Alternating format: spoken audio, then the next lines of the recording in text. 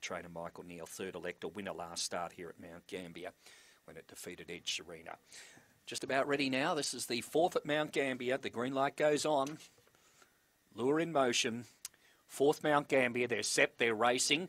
Glenville Rose won the start and uh, leads in second placing around the outside edge Serena. Then came in third placing Problem Angel. Further back was Reoffender. Myola Knight and last of all was Fast Kaplan. It's Glenville Rose still about two or three in front of Problem Angel second. Then came Reoffender running on. But into the straight is Glenville Rose in front of Problem Angel trying hard. Glenville Rose, Problem Angel and getting between them Reoffender. Reoffender's beaten them both. Reoffender's defeated either Glenville Rose or Problem Angel. They're followed by further back came Myola Knight Edge Serena, Fast Kaplan.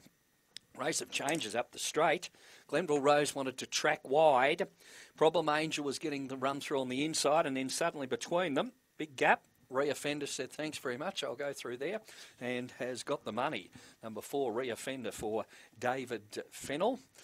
And Reoffender uh, gets home here in race number four on the card.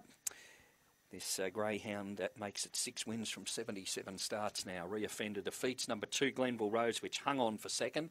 Wanted to get off the track. And third, right up along the inside to number eight, Problem Angel. So 4 2 8. Race time of 23 and 69. Run home time 12.74 after a first split of 10.95 and it's 4 2 8 and 7 has got fourth Myola Knight. So 4 2 8 7 for Reoffender Black Dog uh, July 19 by Jury from Velocity Onyx. And uh, this uh, greyhound is owned by Hayden Fennell and trained by Dean Fennell.